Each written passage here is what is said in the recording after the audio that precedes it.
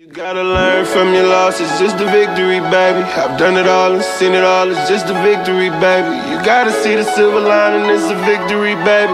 If it benefits, I know, I know. Uh, if you want greatness, it takes time. Okay, guys, so it's inspection day. This will be the final walkthrough by the Detroit Land Bank's third party company to verify that you have your sink, microwave, refrigerator, and you know, you can have that set up too. Blow up mattress, which you, you know, you don't, this doesn't, you don't need that. But you gotta make sure that you have all your stuff. Um, so they're gonna check to make sure you got all your windows and doors in, all exterior windows and doors in. As you see, we have no drywall up on the first floor other than in the bathroom and around the window. Actually, let me take this down. So, um, so this is what they're looking for. Um, these things here because if you were living in your property, they want to make sure you're able to uh, wash up, cook you something to eat, have a refrigerator, that type of stuff as you're working on your property. These are the bare minimum that they want you to have. That's it. So when you get, so after you send them, go through the list that they send you, uh, you when you close on your land bank property, get your compliance list, get the water, uh, get the water turned on in your name, uh, get the meter set up, um, then get a hot water tank installed, get your furnace installed, and then, you know, of course, before that, they want all four sides clear debris.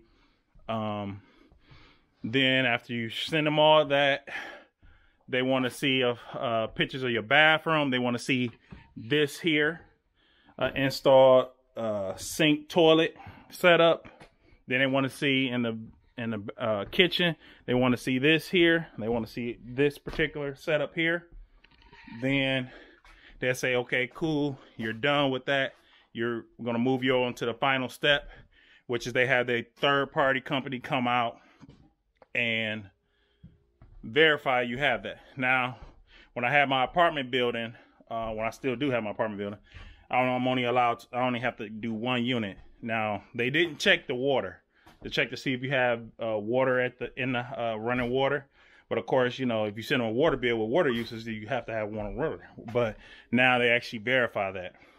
So I'm going to, long as this third party company doesn't give me a hard time to record, um, I hope they don't because, you know, it shouldn't be a problem because I, I recorded before. And we have video surveillance here at this property. So um, hopefully we don't have nobody that says, oh, I don't want you recording and stuff like that. So hopefully we don't have that problem. So, but I'm going to record this interaction so you guys that are concerned about this last step, this final inspection, you can understand what this really is. No one's doing this for you guys. I'm down in the trenches. Don't forget to like and subscribe to this uh, channel.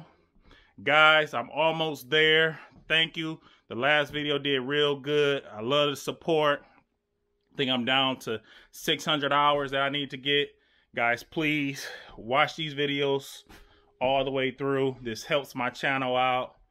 And I can help you guys out and continue to make more content for you guys. So let's stay tuned. They just checking to make sure your everything works, you know, and that's about it. They want to check to make sure that you have running water, the toilet flush, and all that good stuff. So, sorry, I just, I just got the water hose over there. So, and they just take a picture and make sure that your your stuff works. Make sure you got everything in there ran right, and you're good. And that's it making sure that, hey, you really have a hot water tank, you really have a furnace. That's it. Make sure you got your ventilation done right and get you together. Simple, easy peasy. You guys close out. They release the interest in your property. And then after that, they're hands off, you know?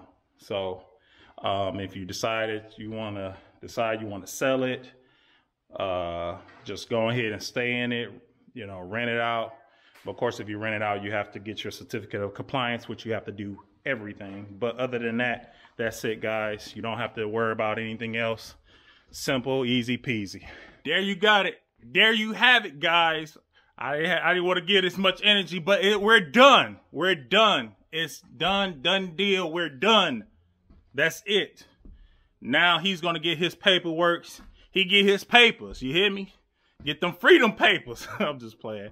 But nah, so that's it, guys. That's all you need to achieve compliance with your property. All four sides, clear debris, exterior, exterior windows and doors, a hot water tank, furnace hooked up. Got to have your water meter in. The kitchen, the basics, you saw that. The basics in the bathroom. That's it. You're done. Stop playing with me.